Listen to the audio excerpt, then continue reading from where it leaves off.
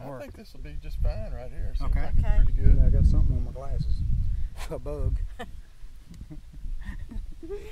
Can't do it without Get you to them. come a little closer this Okay. way. It There feels weird, doesn't it? Like Yeah. he had, he just had me in it. I was like, close whoa. to you, I know, but Yeah, I know it does seem uh, kind of close. How close does Mike need to be, Rusty? Uh, just kind of hold it down. You know, About like that? go. Yeah, it'd be Okay, fine. huh? all right. He's the talker anyway. Okay.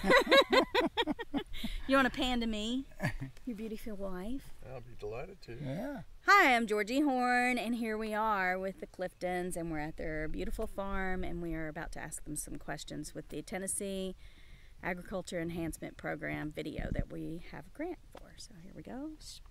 That's probably all going to be cut out, but this way I know where I am. Hello, Georgia. Hello, hello. Hi. Hi there. Okay, so what